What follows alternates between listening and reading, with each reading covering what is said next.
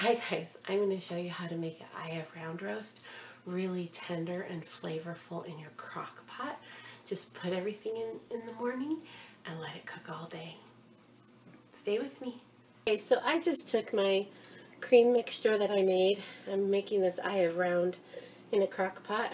Um, and I'll have all the directions below, but it asked for bouillon powder, broth, onion powder, celery seeds, sugar, some minced garlic, and some Worcestershire, Worcestershire sauce. And so I just mixed all of that in here. And this, when I made my cream soup, it made a big pot.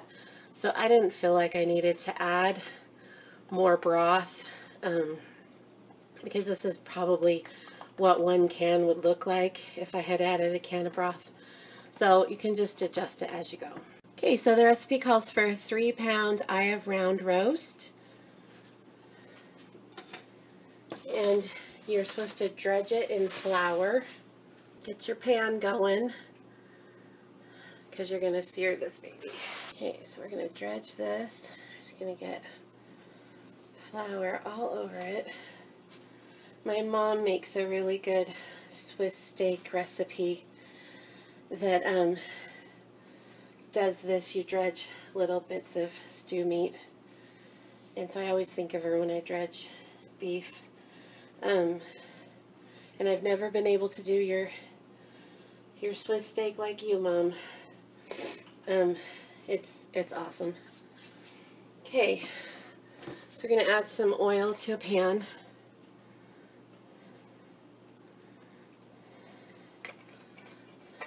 Have your pan get hot. Okay, so I have some oil in a pan and I've got my dredged beef and I am just going to sear all four sides.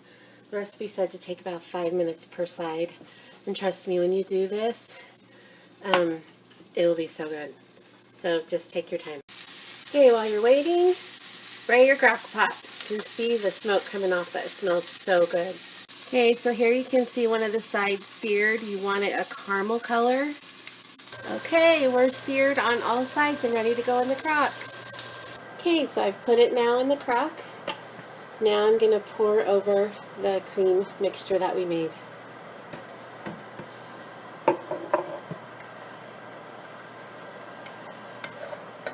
All that deliciousness. If you wanted to, you could have chopped onion in here, you could have mushrooms, you could put other veggies in here, but my family's pretty simple that way. Now, look at this. I have all these delicious drippings in here. I don't want to let them go. So I'm going to add a little bit of water to them and add them to the pot.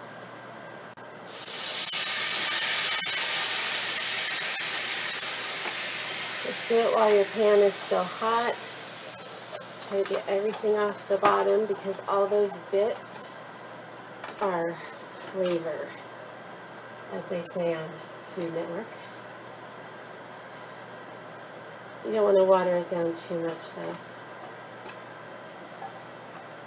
And just add that.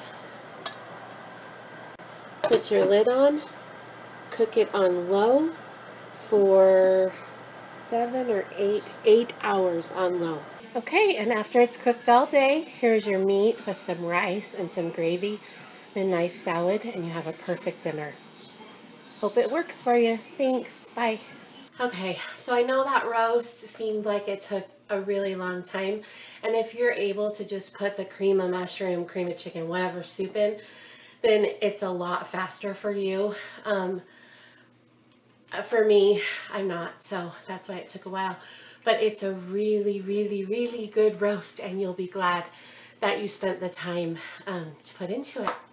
So I hope you enjoyed that recipe. Please like, subscribe, comment below. I'd love to hear if you like the recipe, if you'd like more of these videos, and what kind of videos you would like.